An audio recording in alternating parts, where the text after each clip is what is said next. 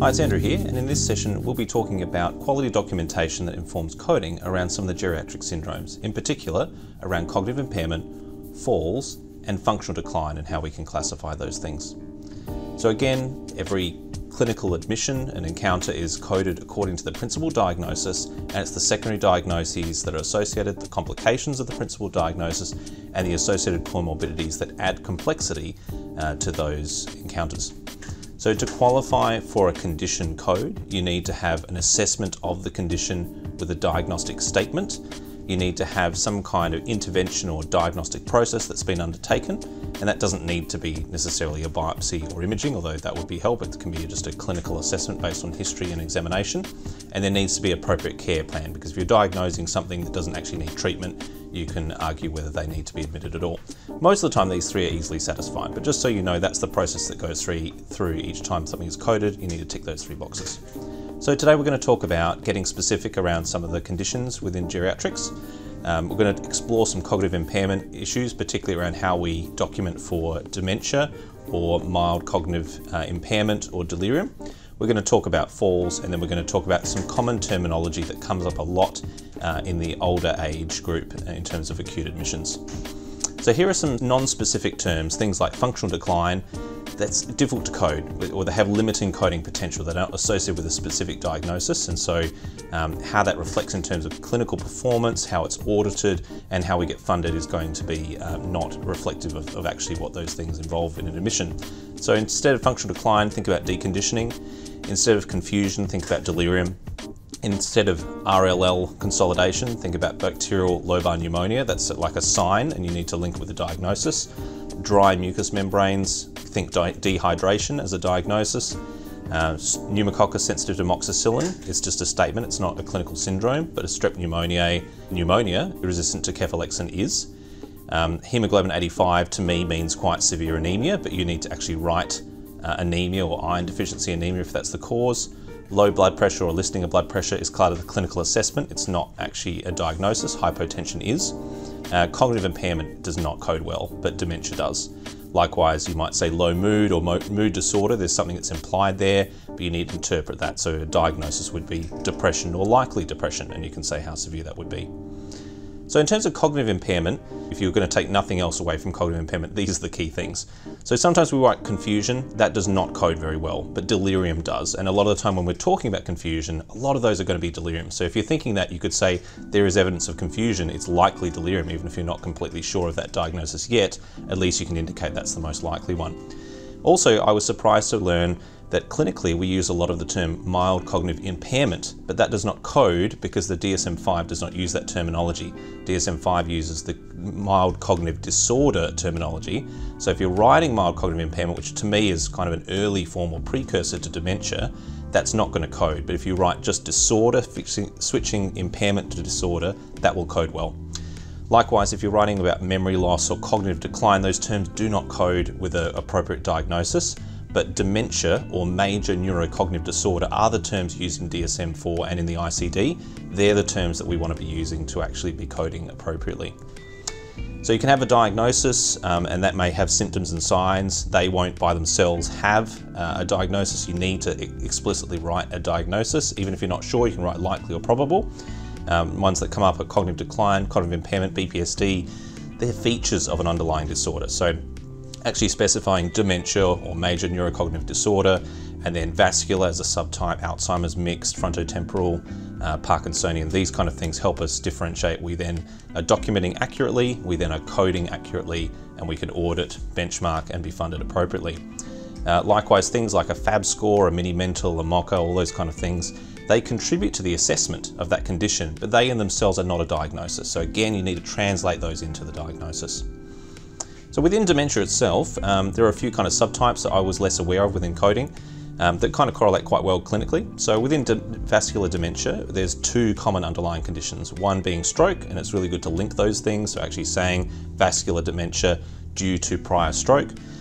Even if you're not 100% sure, because it's you know it is really a clinical diagnosis, you can write likely. You know, um, probable vascular dementia likely due to prior stroke or CVA. That would be appropriate.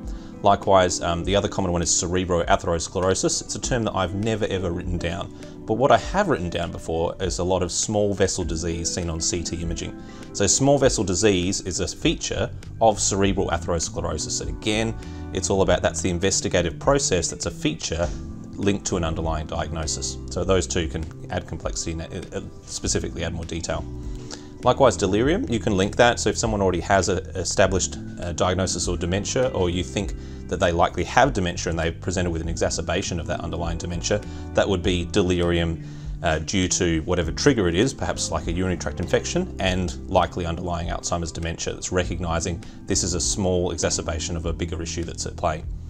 BPSD as well does not code well alone. It needs to be linked uh, and it needs to be linked specifically with the kind of a neurocognitive disorder that is contributing to those behavioural issues. Again, the name itself, behavioural and psychological symptoms, it's a symptom, it's not a diagnosis in itself, but you can link it as to saying that these are behaviours and symptoms that are complications of dementia. So a lot of the time, within geriatrics, we talk about the idea that you need longitudinal assessment. So someone might say, I can't write the word dementia because I need a longitudinal assessment to be sure that that's the appropriate diagnosis and I don't want to uh, label someone with that quite significant diagnosis without confirmation.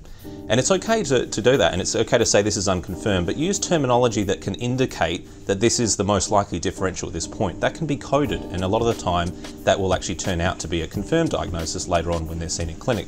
So a lot of them you can say, you know, these features these symptoms, this assessment is consistent with a likely diagnosis of vascular dementia that requires confirmation at a later date. You can specify that because then they're not necessarily having the label clinically, but they still is able to be coded. And you were talking about that's the number one differential that requires our ongoing input. It's appropriate to link that with that diagnosis of significance.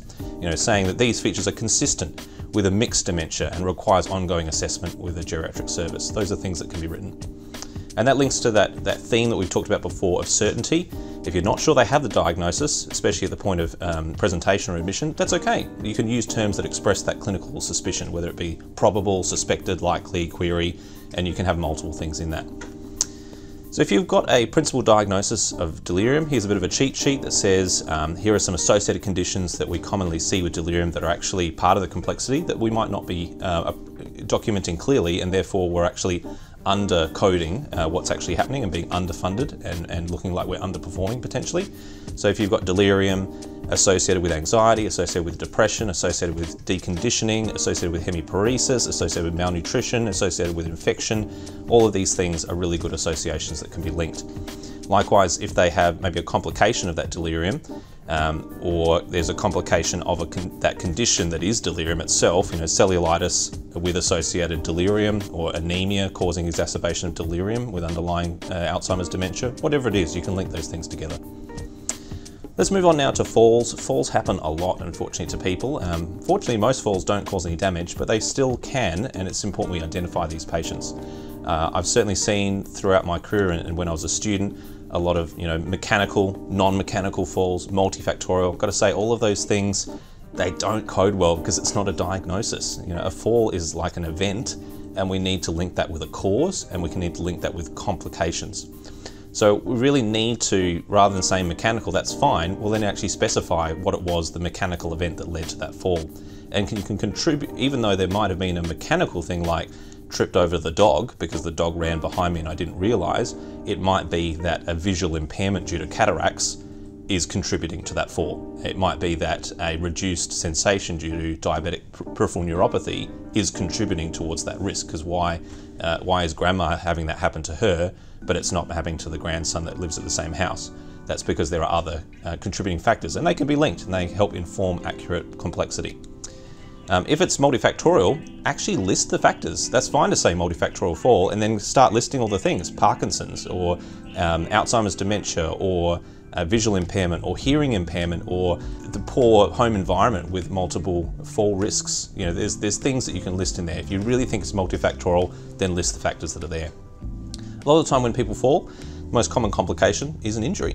And obviously in orthopedics, we see the more severe end of that spectrum, maybe a fractured neck of femur or um, other, other kind of bones that are broken and that require surgical intervention. That's obviously quite a significant thing.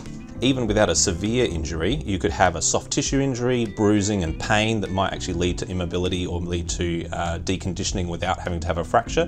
Those things can be coded. Those things are informing the complexity of that admission. Likewise, a, compl a, complication of a fall and associated injuries may be deconditioning, may be deep vein thrombosis. Those things can be linked um, to that initial issue. And likewise in the care plan, this is usually done pretty well, but just to reiterate, physiotherapy or occupational therapy may be involved in actually caring for that person post-fall, analgesia for pain, and appropriate wound care where, where appropriate. These things can be linked to that diagnosis. So there's a lot of terms that we use um, around and, and they're things like malaise and fatigue. Those things are not codable really. Cognitive impairment, cognitive decline are terms that are used a lot. They need context, they need to be linked to a diagnosis. It's okay to use those terms when we're writing, uh, especially in history, but when we're actually coming to our assessment or our impression or the diagnosis, we need to be more specific than that. Likewise about functional decline, re reduced mobility and the dreaded acopia, uh, arguable whether that's a word or term at all, they can't be done. They're just symptoms and signs. They're not specific uh, diagnoses. So what we're going to try and link those to is more specific conditions. And I think we can use terms like deconditioning, secondary to fall, secondary to frailty, deconditioning due to dementia, no longer able to live independently, um, deconditioning due to a medical condition like heart failure or pneumonia, um, mild cognitive disorder rather than cognitive impairment, worsening dementia rather than cognitive decline, um, BPSD due to the subtype of dementia rather than just BPSD alone. Uh, and likewise with falls. Falls can be linked to dementia because dementia impairs some of our sensory modalities, it impairs our judgment, it often slows down our reaction times, though that's a legitimate uh, contributor to falls. So those are things we want to use, moving away from terms alone like frailty, malaise, acopia, reduced mobility. Those things are just signs and symptoms they need to have a diagnosis linked. So now let's go through a few examples where we can document accurately uh, things related to delirium or dementia or falls and see how that actually plays out in terms of activity-based funding. So here we've got a 70-year-old patient who's admitted for 10 days due to confusion and then is discharged home. There was um, additional diagnoses of UTI and iron deficiency anemia that contributed to the complexity of that admission. If we had just documented cognitive decline with those other associated diagnoses, that would not have a really specific diagnosis. It would be average length of stay of six days. It would be about $7,000 of funding. If we say that it's delirium superimposed on dementia or secondary to dementia or exacerbation of dementia, and then we link those two together with the UTI and the iron deficiency anemia, suddenly we add $10,500 more and we say an average length of stay of two weeks compared to the six days. You can see that's a really big deal uh, that's there and it's more, that average length of stay of 14 days is much more reflective of the 10 day stay compared to the six that's listed in the non-specific coding. Likewise, let's say similar kind of patient, 21 days, discharged to a nursing home, likely uh, dementia or cognitive decline. The way that you term that will, will really significantly impact the, the, the coding.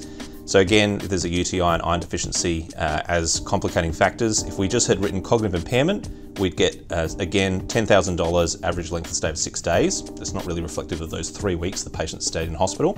If we were to use likely dementia as a diagnosis, then that would go up to $17,877, an average length of stay of 14 days. Still not the 21 days, but much more reflective.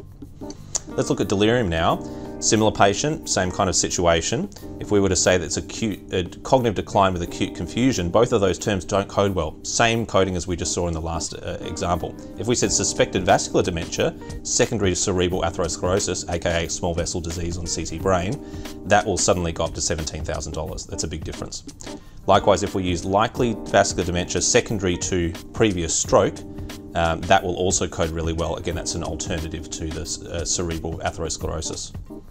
Here's an example of falls. Similar kind of patient. Uh, they had a fall, admitted for 10 days, discharged home, also had a UTI and iron deficiency. If we just wrote multifactorial falls or something similar, that's linked with $8,700 and an average length of stay of three days. If we say that she got a sprained ankle uh, due to the fall, um, that suddenly increases the complexity and we get $10,600. Um, if we were to use the term functional decline, we actually get less than either of those. We're not actually linking it with an event with a fall, we're not linking it with any particular cause. It's non-specific, they're in 10 days, but we're only get $7,000 worth of funding. We're being underfunded there, we're really underselling ourselves and the patient. Uh, here's an example of deconditioning. Similar kind of thing, 70 year old had a fall, 10 days in hospital, UTI, iron deficiency, and deconditioning. If we were to say that the fall is due to deconditioning, then we can get $7,000 roughly. Uh, it doesn't code very specifically. If we were to say that they have a fall due to hemiplegia from previous stroke, then suddenly that funding goes up to $17,000, which I think you'd agree is more reflective of the, the time and investment and services provided to that patient.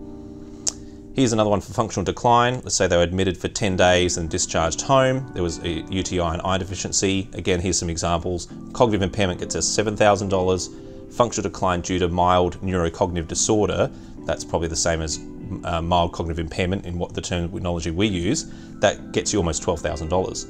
If it's functional decline due to likely dementia, again, we're not confirming the diagnosis of dementia, we're just acknowledging that's the most likely fit, that funding goes back up to $17,800. These things make a big difference. So I'd encourage you when you look through the geriatric syndromes, you're looking after these patients, which most of our units do on a daily basis, try and get specific with the terminology. Get the, those signs and symptoms linked to a diagnosis. Um, even if it's not confirmed yet, it can be likely if it's the most likely one. Think about cognitive impairment, try and switch from mild cognitive impairment to mild cognitive disorder. Try and shift from things like cognitive decline to worsening dementia or likely dementia. Likewise in falls, this listing falls is an event, need to link it to a diagnosis and complications to accurately reflect the complexity of those admissions, which are often quite detailed. Uh, and lastly, we can see terms like acopia, functional decline, reduced mobility. These can all be linked into specific diagnoses like dementia, like uh, de deconditioning, and other similar conditions. So I hope that's helpful, and as you care for our patients in the community who are older, I hope that you'll care for them with dignity and respect, and your medical documentation will be accurate and high quality to inform good coding. Thanks for listening.